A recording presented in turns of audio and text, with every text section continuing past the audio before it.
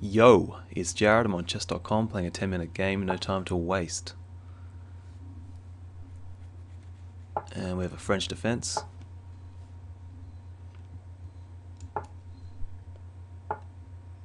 Have a mainline French, an exchange French. Okay, this is a classical French. Whoa, the knight went home. That's odd. Usually the knight goes to e7. Oh, goes to d7. Okay. Okay, gonna play bishop e3, knight f3. I've played these types of lines before. The queen ends up coming to b6. I believe I can play simply knight f3 first.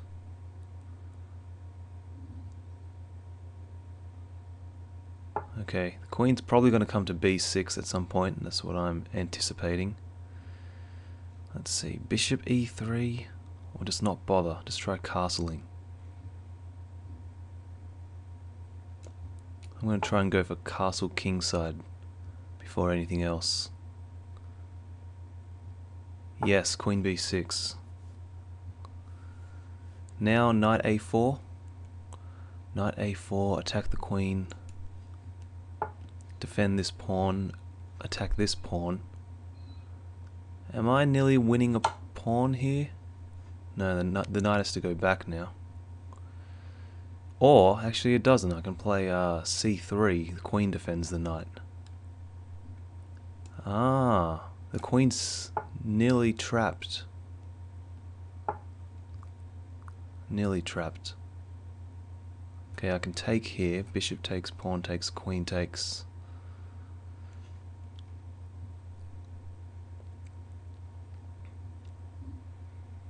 Okay. I could play pawn takes. Ah, pawn takes works because of a fork. I believe I can play pawn takes. Because if bishop takes pawn, I play b4, forking the bishop and the queen.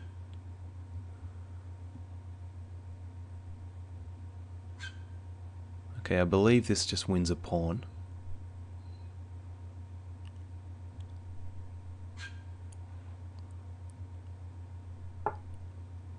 Okay. He's given me the option of knight b6, attacking the bishop and the rook. Rook moves, I grab the bishop. Is that worth it? I think that's probably worth it. Knight b6 looks like a very strong knight. I'm going to go for knight b6.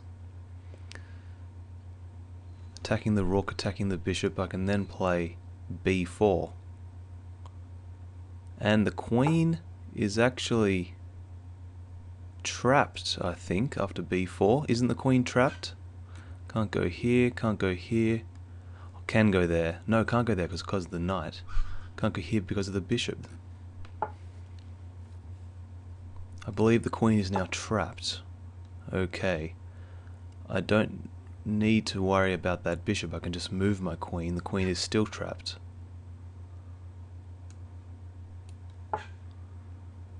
Now what does he do about his queen? He's just losing his queen. In fact, I, I could have even just taken that bishop. That that bishop was free. I take the bishop, but then he gets his queen out. Hmm. So it may actually be more accurate to play what I played, just queen d2, keeping his queen attacked. Looks like I'm going to win more material this way.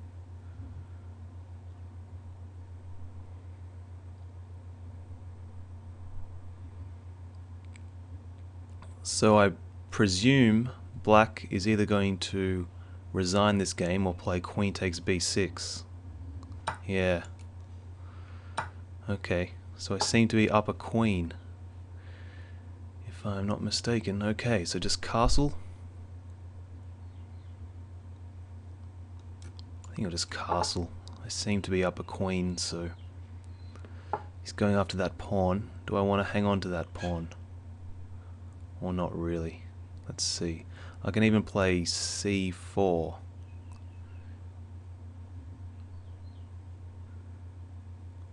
Hmm.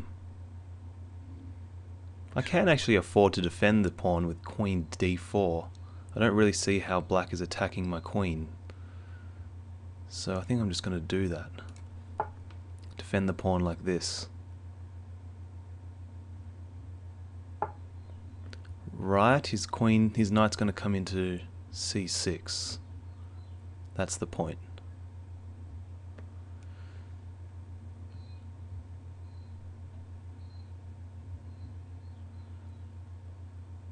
But I can simply back up my queen, or I can play bishop e3. I think I'll play bishop e3. Ah, the knight can actually come into f5, but that's fine. I just move my queen back, right? Just move, move, move her back. Back here. Takes my bishop, I recapture.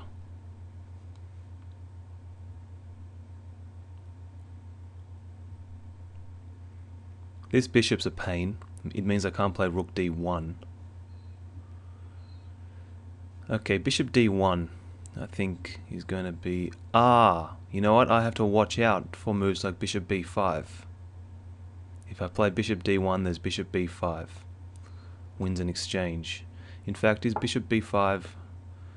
No, that's just a blunder, isn't it? Ah, no, he's going to play takes. He takes the bishop, he gets the exchange. I'm actually okay with that, I think. That's two pieces for the rook. I think I'm fine with that. I am completely fine with that exchange, I think. Two pieces for the rook. Plus I'm up a queen. Sure, he gets this pawn back. Okay. Now I believe I should just try and open things up. What about rook here? for starters.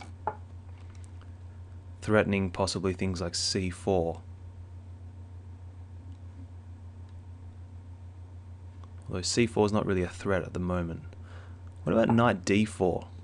Although c4 now is a threat. The knight went back. c4. Yeah, I think I'm just going to go for that because if takes, there's queen d7 mate.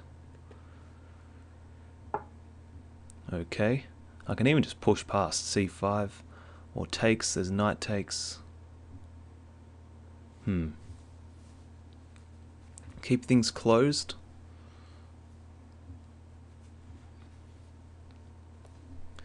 Nah, I take, takes, I play bishop here. He grabs this pawn.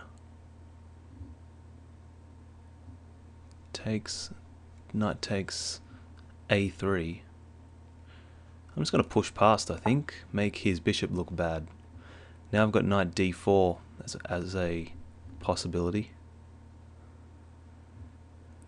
He can castle queenside to get onto my queen. Uh-huh. I'm gonna... Well, knight d4 challenges this knight. This pawn's not going anywhere. It's guarded by my queen.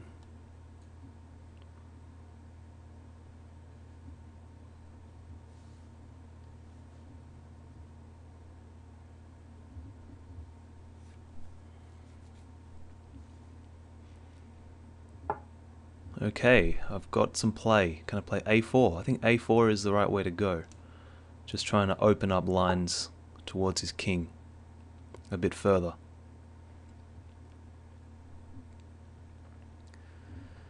Yes, okay, that's fine. I can play b5. Ah. Play b5. He cannot take because bishop takes and he has to give up his rook. Which is what I was just talking about. In fact, yes. Uh, not quite actually. He can play knight to c6 but then I take. I simply take. He recaptures with the pawn. I take again, he plays king e7. Surely I come in with my queen now, queen a5. Queen a5 next. I think queen a5 or rook b1. Rook b1 threatens mate, also queen a5 threatens mate, so might as well go for that. So I'm threatening queen c7 mate because of this pawn. His king can't go to f6. Also queen to a7 mate. How does he meet this? I don't think he can. I think he's sort of tied up. In fact, I think it's mate next move no matter what. I can't see a defense.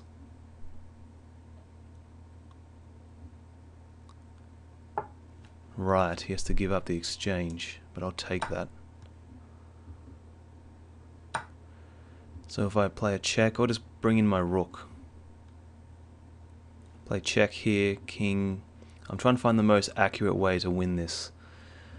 Queen b5 check. King here. I think it's best just to get in more forces. I'm going to try rook b1 to get in rook b7. He'll probably play something like bishop e7 trying to get his rook into the game, but I don't think it's going to be fast enough. Okay, rook b7 seems good. Queen c7. I'm going to pick off his bishop. Um, possibly. Although this is actually... Yeah, this seems to be leading to bad times for black. Can I play rook b8? Yeah, rook b8. Rook b8, king here. I can simply keep that bishop pinned. What about c6? c6 for c7. His pieces just can't move. He can't move his bishop, and he can't move his king, which means he can't move his rook to help out in the game. So c7 is coming next.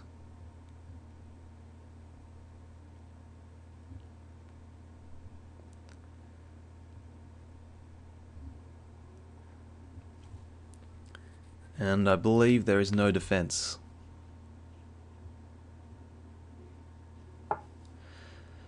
Okay, he plays on. c7. I think he has to play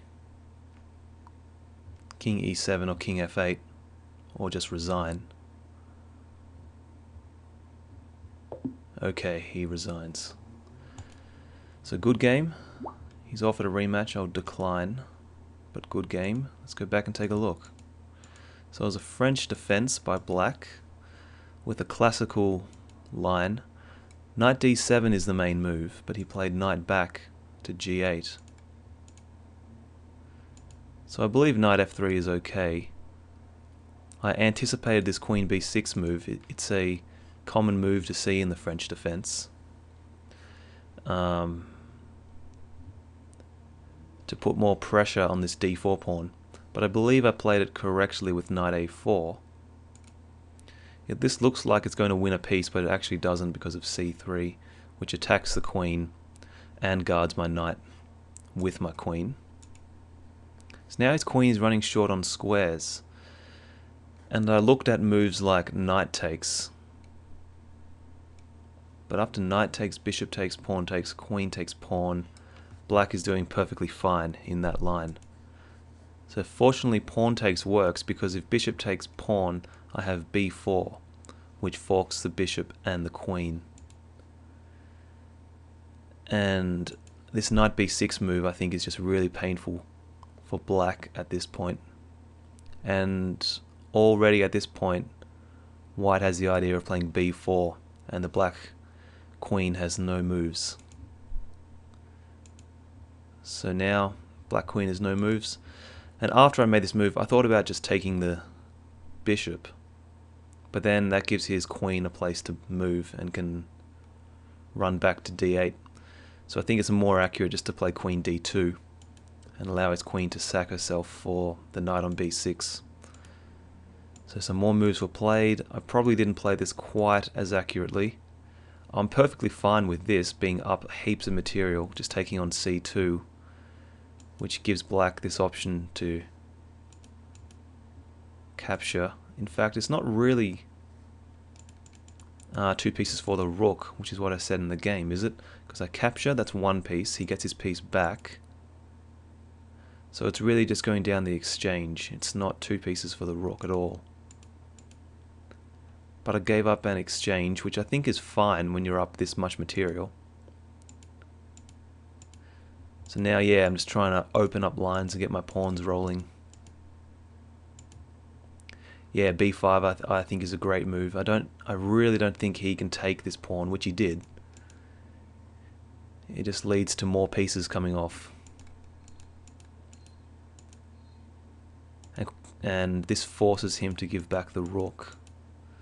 So now I'm just totally winning, of of course. And this was just uh, a really simple game to win. So I hope you enjoyed this game. I'll see you in the next one.